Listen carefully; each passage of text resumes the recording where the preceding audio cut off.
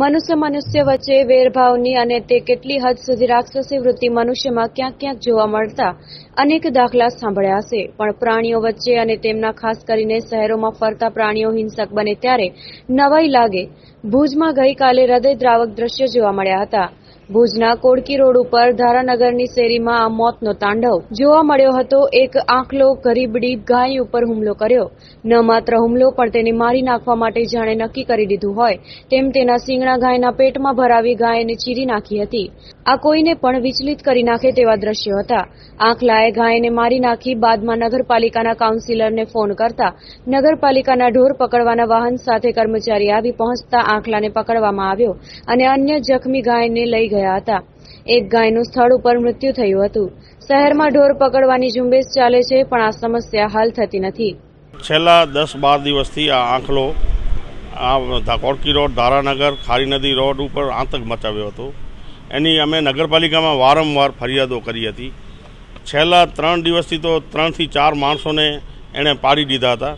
એના પછી નગરપાલિકામાં રજૂઆતો પ્રમુખશ્રી પાસે કરી, પ્રમુખશ્રીએ તાત્કાલિક ટ્રેક્ટર પણ મોકલાવ્યો પકડવા માટે. પણ આ જાડી ગીચ હોવાથી કારણે જાડીમાં ઘૂસી જતો હોય અને જ્યારે આ ટ્રેક્ટર આવે ત્યારે આંખલો ભાગી જતો હતો, પકડાતો ન હતો. વારંવાર આ લોકો ત્રણથી ચાર વખત ટ્રેક્ટર લઈને પણ આવ્યા, પણ આંખલો પકડાણો નહીં. છેલ્લે નછોટકે આ આંખલો ધારાનગર કોડકી રોડ અને ખારી નદી રોડ ઉપર કરફ્યુ જેવો વાતાવરણ ઊભો કરી નાખ્યો. જ્યારે આંખલો નીકળે ત્યારે આ વિસ્તારમાં કરફ્યુ લાગી જાય, માણસો એકબીજાને ભાગમ ભાગ કરવી પડતી હતી અને આંખલો માણસો પાછળ પણ આવી જ રીતે દોડતો હતો. અને કાલનો એક કોર્કી ધારાનગરની અંદર એક આમાં ગાયને ગાય ઉપર આંખલાએ એવો આતંક મચાવ્યો કે ગાયની તમે જો હાલત જુઓ ને, તો ગાયના આંતેડા ઓજરીઓ બધે અલગ અલગ જગ્યાએ ફેંકી બહાર કાઢીને ફેંકી દીધી હતી. આ આંખલો હજી પણ ન પકડાય. પણ ગાયની, ઓજરીના માંથી શિંગડા એના બહારે નીકળી આવ્યા હતા. એના કારણે આંખલો બેસી ગયો હતો. ત્યારે નગરપાલિકાને અમે તાત્કાલિક જાણ કરી કે ભાઈ હવે આંખલો એક ગાયને પણ મારી નાખી છે. અને તમે શૈલીભાગી જંગલ ખાતાને પણ બોલાવો અને આ આંખલાને ઇન્જેક્શન દઈને પણ પકડાવો, નહીં તો આ માણસો મારી નાખશે. ત્યારે પ્રમુખશ્રીએ તાત્કાલિક નગરપાલિકાના ટ્રેક્ટર અને નગરપાલિકાના જવાબદાર અધિકારીઓને ત્યાં મોકલ્યા અને પરિસ્થિતિ જોઈ કે ખરેખર આ પરિસ્થિતિ છે. એના પછી ટ્રેક્ટર આવ્યો, ટ્રેક્ટર આવી અને આને આંખલાને પકડીને લઈ ગયા. પણ ત્યાં સુધીમાં તો ગાયની જો હાલત જોઈએ ને, તો એક એક ગાય કોથળામાં ના આવી શકે, આ તો એક કોથળામાં આવી જાય એવી ગાયની હાલત આ આંખલાએ કરી હતી. સૌ પ્રથમ કાલની ઘટનાની જે વાત કરું, તો કાલે જ ઘટના અમને જે મળી અને જે સ્થાનિક તરફથી અમને જે જાણ થઈ, તરત જ અમે એટેન્ડ કરી છે કમ્પ્લેન અને એનો જે કંઈ પણ નિયમ પ્રમાણે નિકાલ કરવાનો હતો અમે એનો નિકાલ કર્યો છે.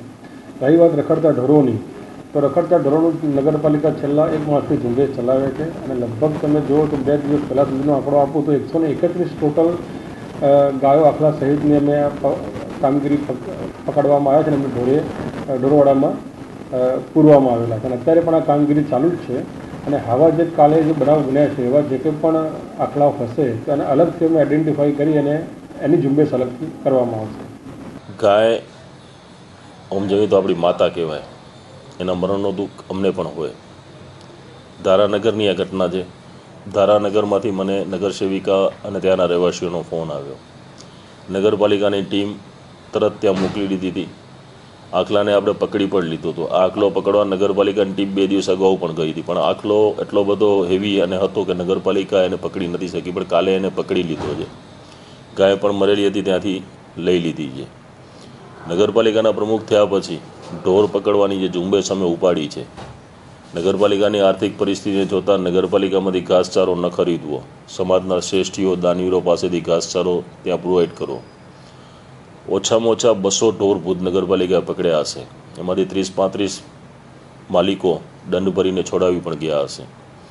આવનારા દિવસોની અંદર અમારા ઢોરવાળા જે છે, એમાં બસો ઢોર રાખવાની અમારી કેપેસિટી છે. અત્યારે ઓલરેડી દોઢસો દોઢસોથી ઉપર ઢોર અમારા પાસે ત્યાં પાસે આવી ગયા અને ઉપર વરસાદની સિઝન ઊભી છે. એટલે ઢોરો પણ હેરાન ન થાય અને લોકો પણ હેરાન ન થાય. બંને જોવાની જવાબદારી નગરપાલિકાની છે. પાંજરાપોળ સાથે મારી વાતચીત ચાલુ છે. આ ઢોરોને પાંજરાપોરમાં સ્થળાંતર કરવાની પણ વાત હાલે છે. આ ઢોરો જો પાંજરાપોરમાં સ્થળાંતર થઈ ગયા છે તો તાત્કાલિક અસરથી ફરી આ ઝુંબેશ વ્યાપક બનાવશું. ભુજમાં જે જાહેરમાં ઘાસચારો વેચાય છે એનો ઘાસ પણ અમે વ્યાપક પ્રમાણમાં જપ્ત કર્યો છે અને આજની તારીખમાં પણ અમારી ટીમ સવારે આ કામ કરી રહી છે.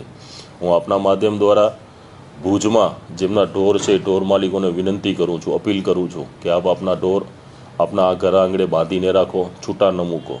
જે લોકો છૂટામાં ઘાસચારો વેચે છે, એમને પણ હું વિનંતી કરવા માગું છું કે આપણે એવી જગ્યાએ ઘાસચારો ન વેચો જ્યાં ગંદકી પણ થાય, ઢોરોના કારણે લોકો પણ હેરાન થાય. જો ઢોર માલિક અને ઘાસ વેચનારા નહીં સમજે તો નગર- નગરપાલિકા આવનારા દિવસોમાં કડકમાં કડક કાર્યવાહી કરશે, એની પણ હું ચીમકી આપું છું.